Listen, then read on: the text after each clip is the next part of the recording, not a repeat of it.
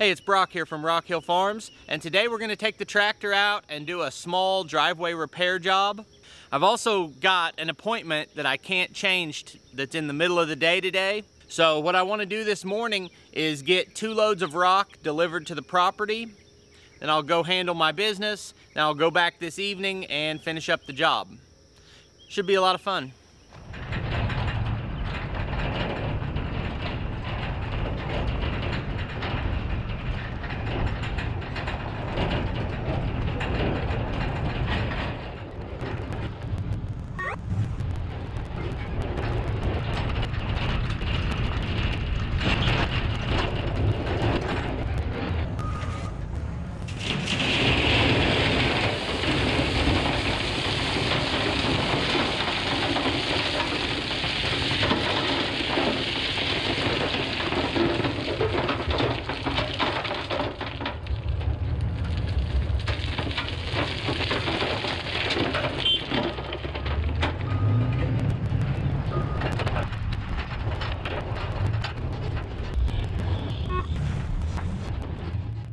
If you just want to see the driveway repair, you can skip ahead to about six minutes into the video. All I was planning to do this morning was drop these loads and go and not narrate about the way rock is centered in the trailer, but I don't feel real comfortable with it, honestly, and I wanted to show it to you guys, get some feedback on it.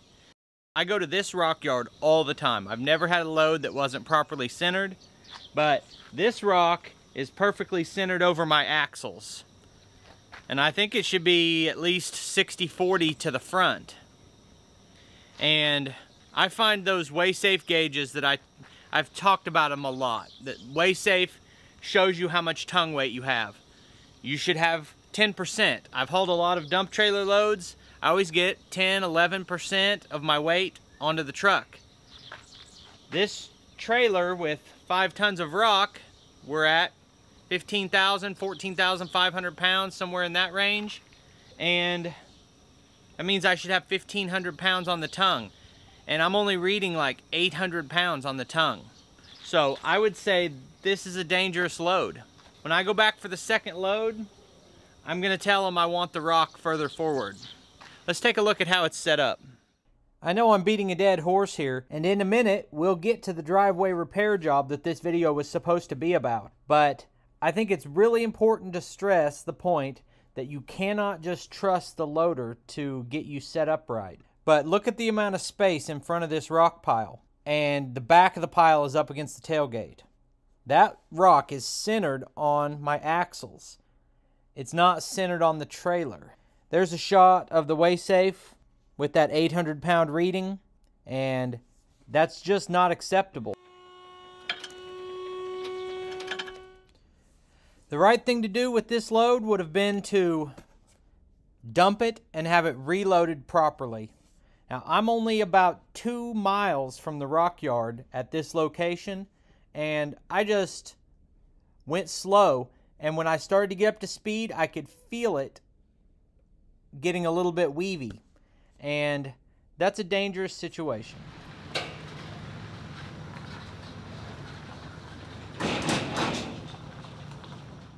Now I'm coming back with the second load that I asked them to place further forward.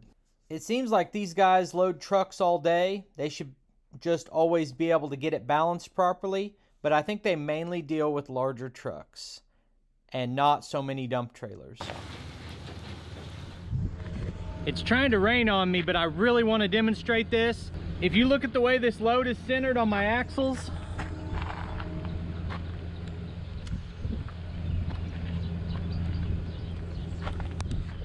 It's moved forward 12 inches maybe, and I've went from 800 pounds of tongue weight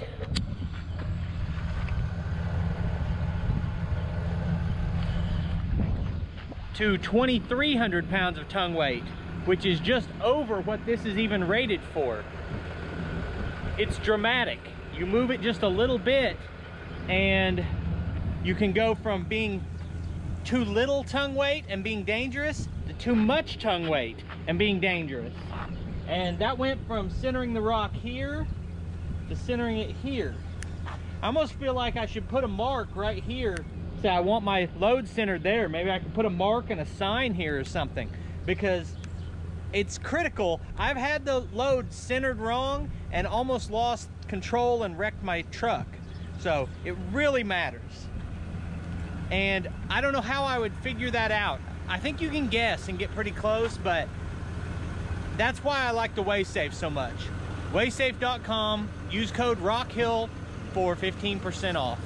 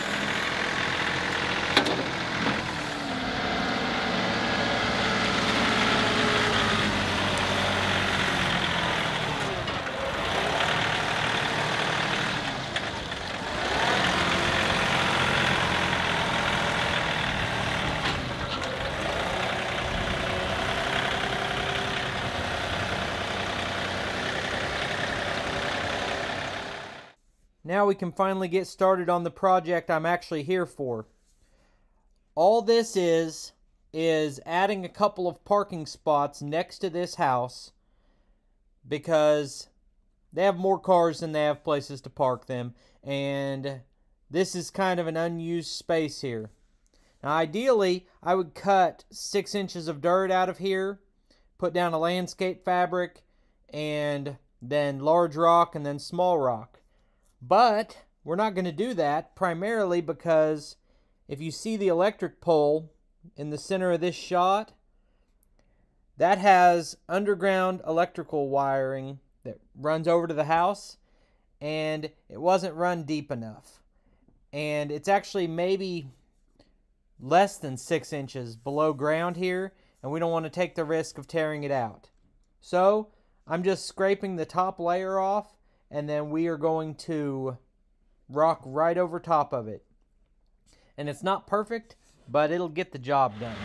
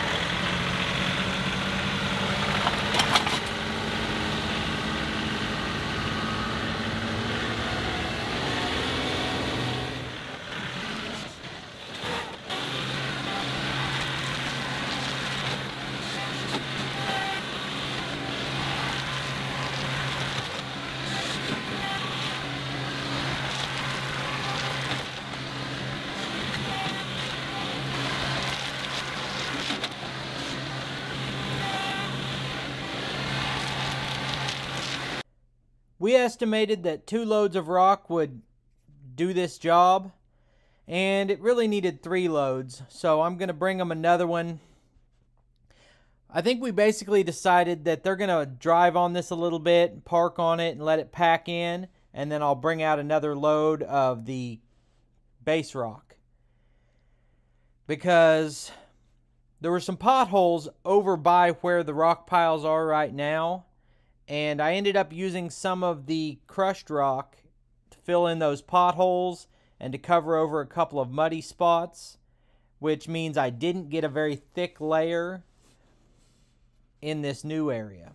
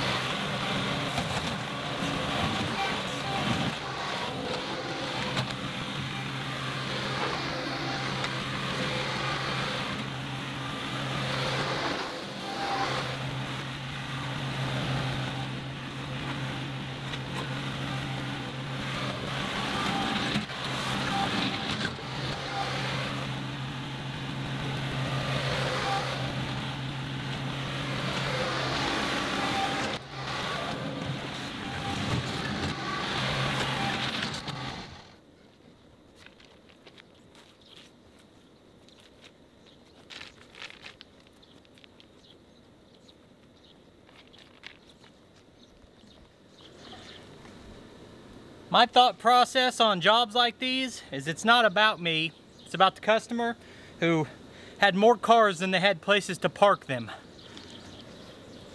At a very affordable price, I've given them some more room to park and I feel good about it.